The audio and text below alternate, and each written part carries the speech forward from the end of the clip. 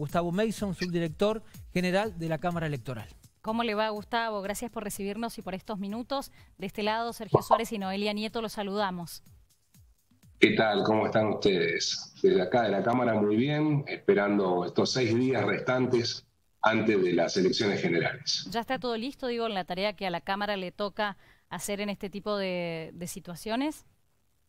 Bueno, sí, por supuesto, estamos eh, ansiosos de que se dé eh, una, digamos, el, el, comicio en sí. Por supuesto que para ello se ha redactado el, un nuevo protocolo sanitario que, si bien reproduce el anterior de, de la acordada 83, ha establecido la posibilidad de que las juntas electorales nacionales, junto con las autoridades sanitarias locales, lleguen a verificar si en los locales de votación existen la posibilidad de poder eh, generar filas dentro de los locales de votación.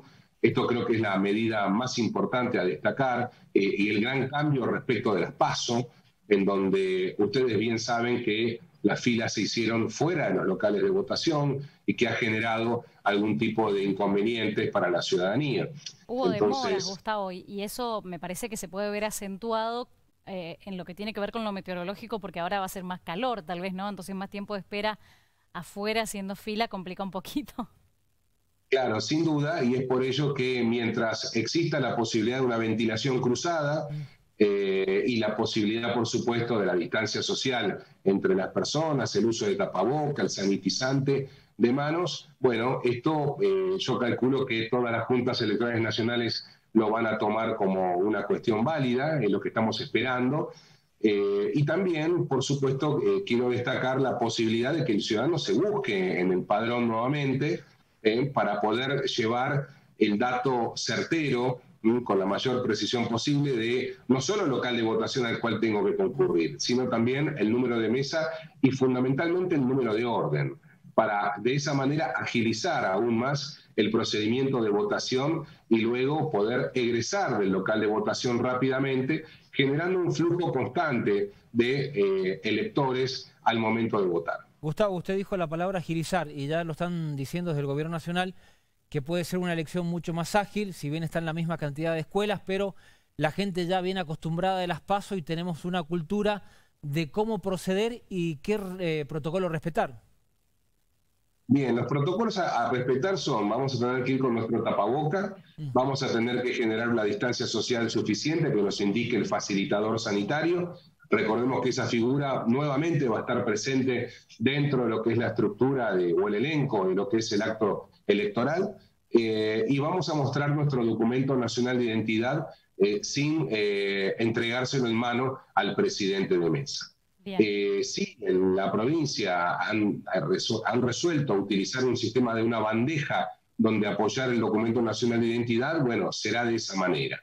Lo mismo va a suceder con la entrega, la acreditación de que yo haya votado. ese talón, bueno, me lo van a depositar o arriba de la mesa para que lo lo tome o arriba de una bandeja.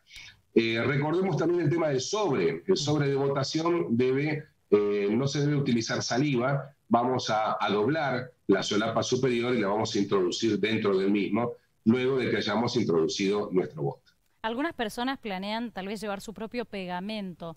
¿Esto es posible, viable? Porque bueno, hay quienes se sienten incómodos dejando el sobre abierto Sí, esto es verdad, eh, digamos, la posibilidad existe. Lo que tratamos de evitar es justamente algún tipo de problema con ese voto. Tengamos en cuenta que, claro, si se queda pegado el voto junto con el sobre al momento en que el presidente de mesa lo abre, puede haber algún tipo de inconveniente o que el voto quede recurrido. Queremos evitar este tipo de problemas. Es por eso que decimos con que realmente doblen la solapa y la coloquen dentro del mismo es más que suficiente para que se quede tranquilo el elector. Se habla también otro de... el bolígrafo, perdón, que cada uno eh, puede recordar llevar el suyo. muchas gracias por recordármelo, mm. que tenemos que ir con el bolígrafo, eh, también para evitar el contacto. Desde ya que si eh, alguien se lo olvida, va a haber bolígrafo que se sanitizará previo y posteriormente a su Se habló mucho, Gustavo, en el tema de las pasos, el tema de la prioridad para un grupo determinado de gente de 8 a 10 de la mañana, según cada escuela, según lo que definía eh, cada uno de los representantes de las provincias. ¿Esto ya se ha hablado? ¿Se ha consensuado algo? Bueno, eh, esto por supuesto queda siempre a criterio de las juntas electorales nacionales de cada distrito. Eh, hay que ver qué es lo que sucede en, el caso de la provincia de ustedes en este momento. habría que ver en todo caso con el doctor Bento de esta situación, si es que va a hacer el mismo procedimiento que ha establecido eh, con anterioridad para las pasos. Eh, pero bueno, en principio el rango general que se estableció, que es de 10.30 a 12.30, es para aquellos distritos que no tomen ninguna medida al respecto. Algunos han tomado ya la medida que sea todo, toda la jornada electoral. Eh, tengamos en cuenta además que hay una cuestión también de sentido común, más allá de un horario preestablecido. Seguramente eh, ustedes han vivido la situación de personas mayores que se acercan a votar y que rápidamente, aunque no sea en ese horario especial, eh, los ciudadanos dejan votar primero a las personas mayores, eh, es decir, que también cumplen de alguna manera con este, esta especie de mandato. Y hay una conciencia social, me parece que si entra una persona muy mayor o una mujer embarazada que no puede estar tanto de pie esperando, naturalmente entre todos decidimos que esas personas pasen primero por una cuestión de solidaridad. Un gesto solidario. Em, quería preguntarle sobre el final, y ya que usted lo mencionó recién, si nos puede recordar cuáles son las circunstancias en las que un voto termina siendo recurrido para que los ciudadanos lo tengan en cuenta a la hora de ir a votar y, hagamos bien los pasos.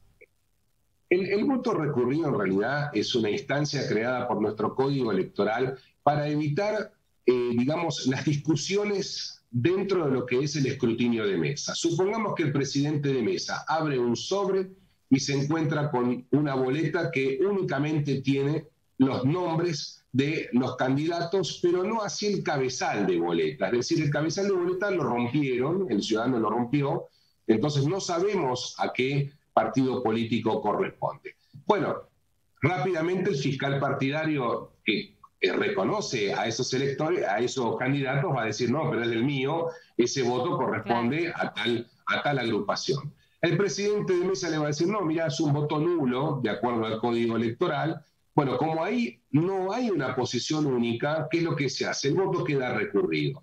¿Quién va a decidir la validez de ese voto? Lo va a decidir la Junta Electoral Nacional al momento del escrutinio definitivo. Así se pueden dar otros casos. Por ejemplo, que se encuentre un clip adentro del, del, sobre o algún elemento extraño aparte de la boleta. Alguien dirá, es un voto nulo. El presidente por ahí dice, no, no es nulo, si el voto está completo. Bueno, alguien le quiere explicar al presidente, el presidente no entiende, eh, o, o, es al revés, el presidente explica y el fiscal dice, no, no entiendo, para mí ese voto no vale. Para evitar y sortear ese problema, ese voto queda recurrido. Recurrir una palabra es queda a la vista de la Junta Electoral que va a tener la última palabra en cuanto a la validez de ese voto. Bien, y por último, ya sé que tenemos que despedirlo, pero sabe que me van surgiendo preguntas. Sí se puede hacer corte de boletas, lo importante es que sea prolijito y por las categorías, ¿verdad? Exactamente, el corte de boleta debe ser de arriba hacia abajo, o bueno, o indistintamente, pero teniendo bien en claro cada categoría. Pero por supuesto está permitido el corte de boleta desde ya. La última pregunta de mi parte, para ir cerrando, ¿con qué documento votamos? ¿Con qué documento vota cada uno?